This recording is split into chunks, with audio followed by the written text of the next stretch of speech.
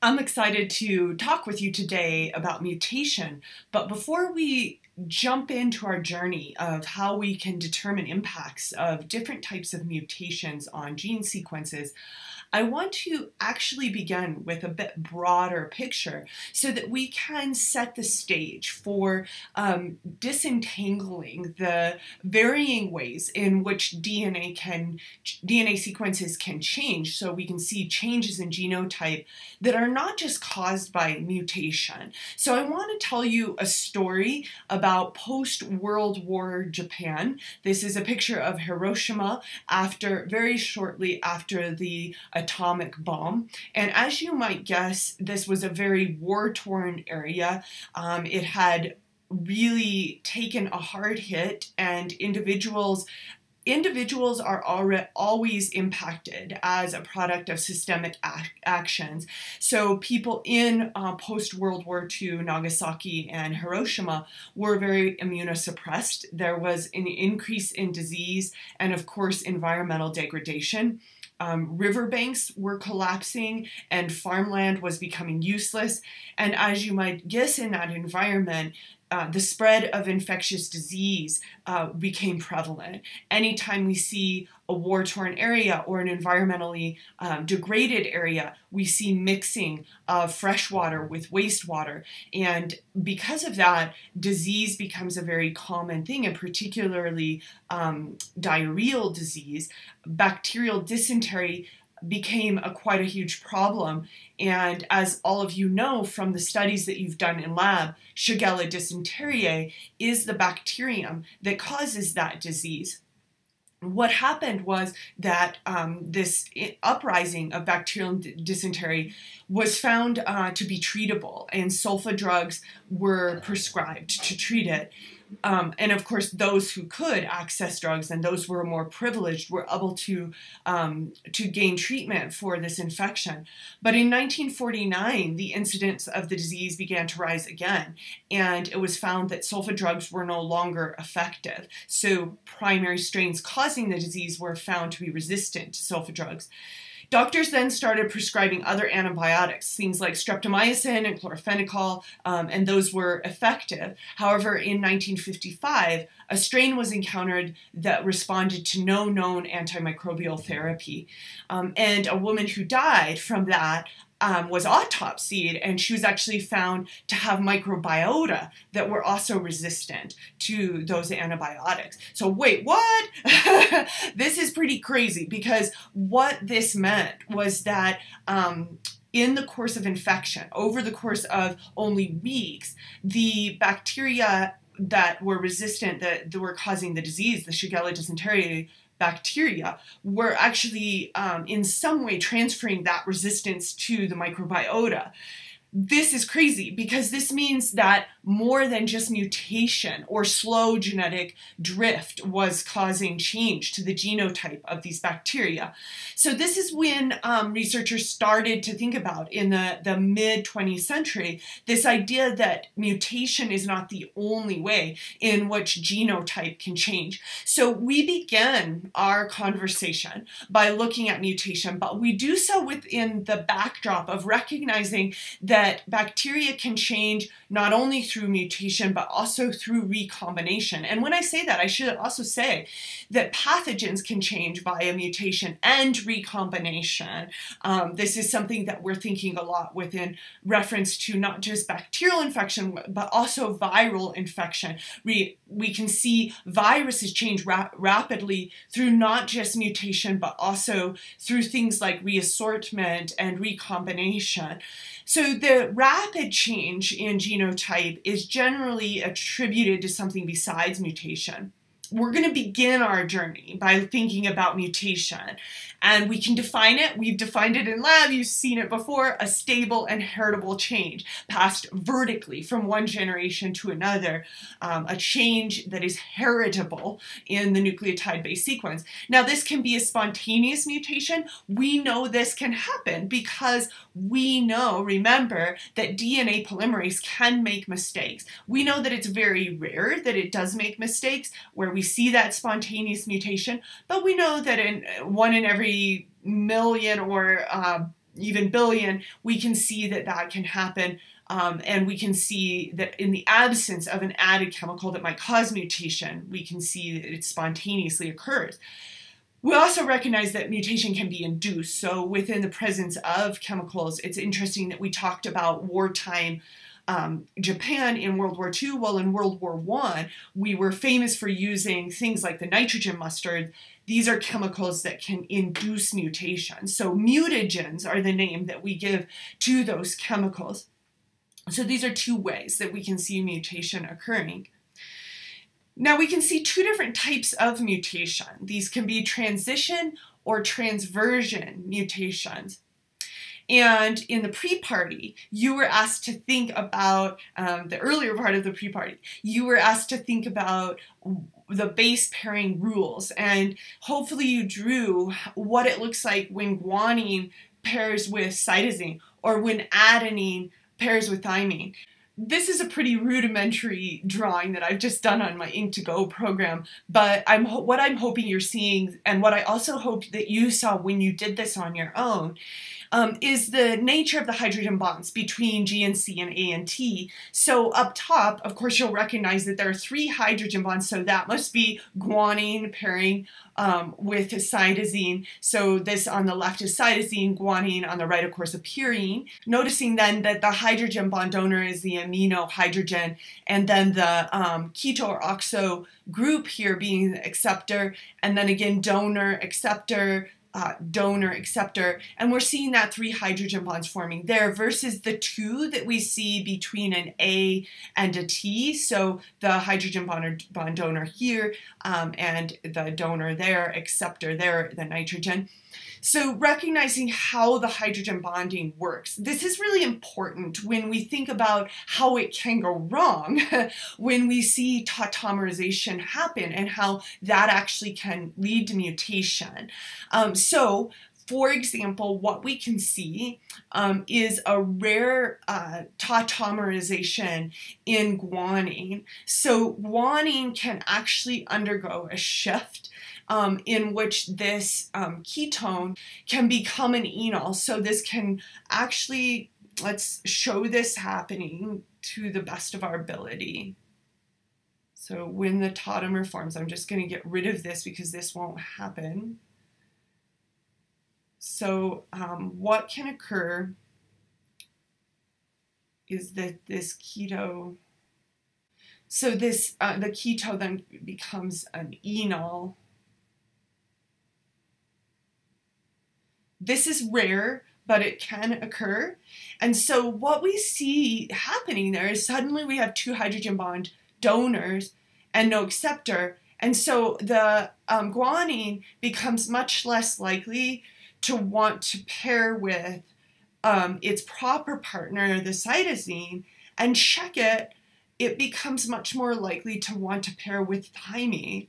So when this tautomerization occurs, you can see how DNA polymerase just gets confused. It thinks that it wants to pair this guanine with a thymine. It thinks that's right. So we get the, these G to T mispairs that can occur as a result of the tautomerization. So that hand drawing really makes it a lot easier to see what goes wrong when a guanine tautomerizes forming the enol and how it mispairs with a thymine. Now, that has a name. We call it a transition mutation. Um, that terminology comes from the fact that in its normal form, guanine pairs with cytosine. Um, cytosine is a pyrimidine. When guanine tautomerizes and it mispairs with a thymine, the thymine is also a pyrimidine.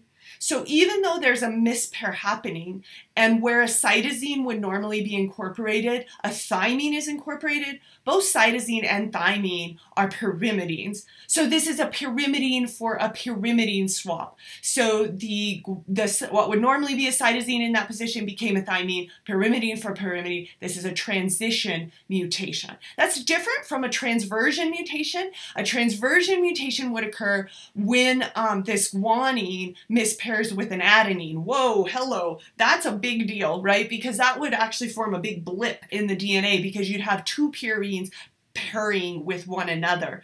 That's called a transversion mutation because in that case, what should have been a pyrimidine became a purine. So that's the difference between a transition and a transversion mutation.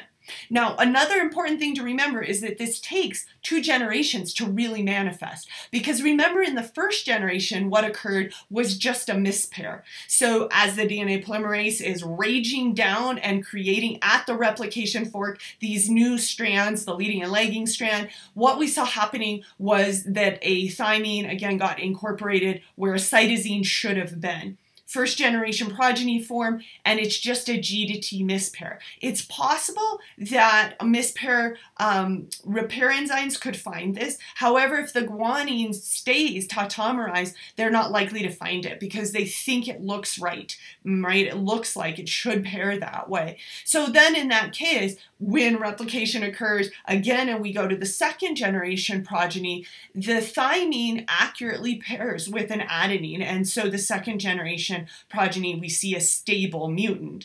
We call this a GC to AT transition mutation because in the wild type, we recognize that this pair was a GC. In the mutant, it's an AT. It was a transition mutation because what was a cytosine became a thymine. So now um, we have that lingo at our fingertips and we can practice.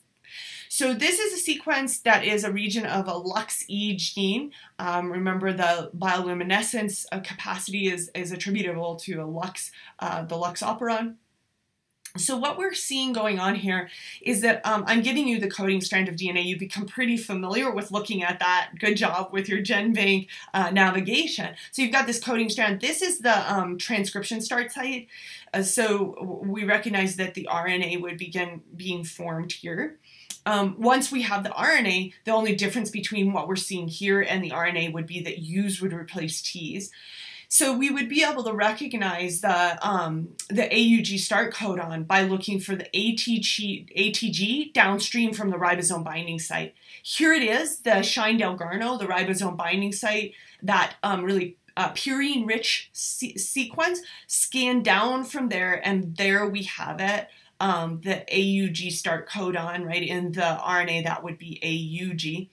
And our task here now is to understand what change we would see in the um, RNA codon and in the protein product if this G tautomerized at some point during replication um, and mispaired with uh, a T. So if that did occur at some point in the gene, what what would be the impact? So we we can do this relatively easily um, because we recognize that we found the ATG start codon and that's set the reading frame. So now we can read our codons from there on down. We know AUG, ACU, ACU, oh, two in a row, uh, UUA, uh, UUA, oh, check it.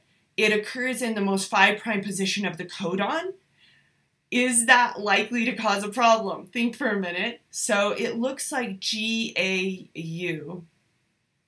Okay, cool. So um, in the wild type, so wild type, we would have um, GAU.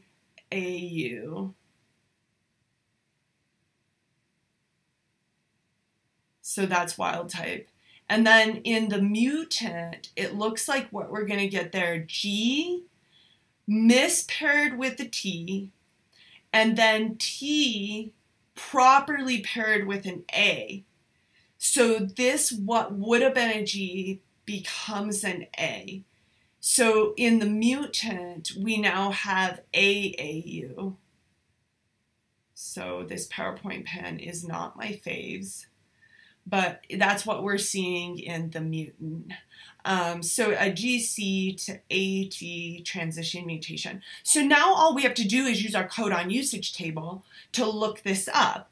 Um, GAU, AAU, I asked you to think about it. Is that likely to cause a big problem? You betcha, because rather than being in that most 3' prime position of the codon, it's in the most 5' prime position. So we think that's going to cause um, a change in the amino acid that would get incorporated there. Let's pause and take a moment to look at our codon usage table.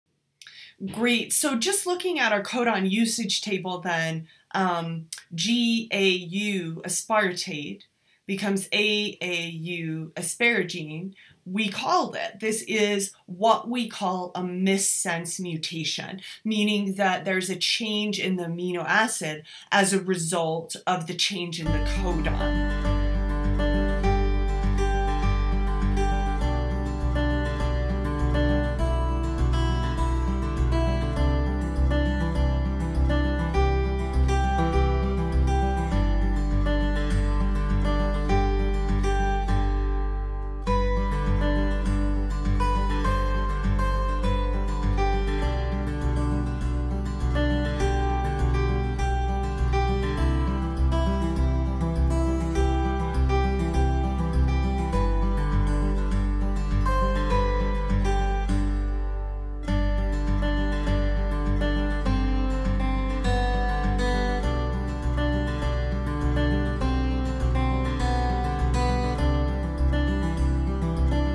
So some language that might make, help you make sense um, pun intended, uh, of what you just experienced um, is that a missense mutation is when um, the change in the DNA due to mutation, due to a small point mutation, one base pair being changed, um, if it's a missense mutation, that means one amino acid becomes another, so two different amino acids. Uh, nonsense means that it goes to encoding for a stop codon. Oftentimes, nonsense mutations, particularly if they happen early or mid gene, gene will be null or knockout mutations causing complete inactivation of that gene. Um, you can also see silent mutations, and those are when, due to degeneracy, you actually see the same amino acid being incorporated, um, regardless of the fact that there was a change. And typically that occurs when we're in the um, most 3' prime position of the codon.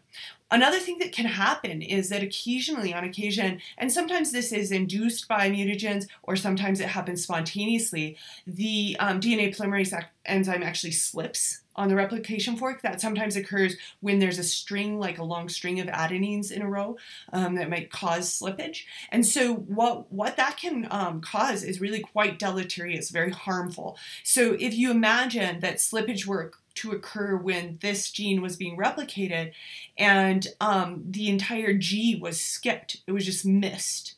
That that would actually completely shift the reading frame. So what that would mean is that now this AUA would be the next codon and every single codon on downstream would be shifted. This is called a frame shift mutation. So when we think about that, I'll pose the question, is this likely to be a null or knockout mutation? And let you ponder that. The very last thing that I want to talk about in this mini lecture is um, a phenomenon called transposons. Transposons are literally jumping genes, and transposons um, actually encode for their own movement um, into and out of uh, a region of DNA. They can be simple insertion sequences that just code for movement, or a transposon can actually contain extra genes.